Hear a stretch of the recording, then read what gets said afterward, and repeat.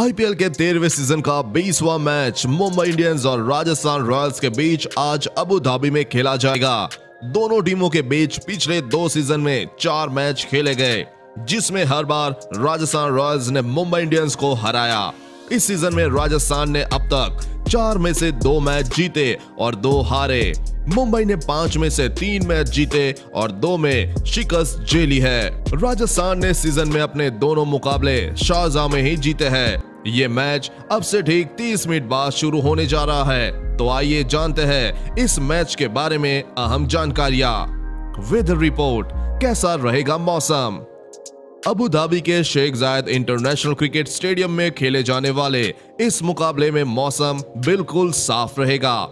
हालाँकि खिलाड़ियों को यहाँ भी भीषण गर्मी का सामना करना पड़ेगा। इसके साथ ही यहाँ शबनम की भी अहम भूमिका होगी और टॉस जीतने वाली टीम पहले गेंदबाजी का फैसला कर सकती है। Pitch report.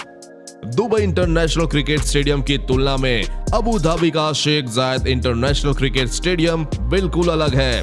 हालाँकि साइज़ के हिसाब से यह ग्राउंड भी काफ़ी बड़ा है। लेकिन यहाँ दुबई की तरह तेज गेंदबाजों को मदद नहीं मिलेगी। हालाँकि दुबई की तरह यहाँ भी टॉस जीतने वाली टीम पहले बल्लेबाजी का फैसला कर सकती है, क्योंकि दूसरी पारी में पिच के स्लो होने की पूरी संभावना है।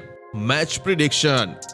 हमारा मैच प्रिडिक्शन मीटर कहता है कि इस मैच में राजस्थान रॉयल्स को जीत मिलेगी। हालाँकि मैच के क्लोज रहने की पूरी संभावना है। इस खबर के बारे में अपने विचार नीचे कमेंट बॉक्स में लिखकर बताएँ। वीडियो को लाइक और अपने दोस्तों के साथ शेयर करना ना भूले साथ ही आईपीएल 2020 से जुड़ी हर खबर सबसे पहले पाने के लिए चैनल को सब्सक्राइब कर ले ऐसे ही आईपीएल 2020 से जुड़ी हर एक अपडेट खबर के लिए चैनल के साथ बने रहिए, क्योंकि आपको यहाँ पर मिलेगा आईपीएल 2020 के हर एक मैच में टीम का प्लेइंग इलेवन मैच की हाइलाइट्स और ऐसी और भी कई जानकारियाँ मिलेंगी तो इसलिए चैनल को भी सब्सक्राइब कर लीजिए, चैनल के साथ लगातार बने रहिए। धन्यवाद।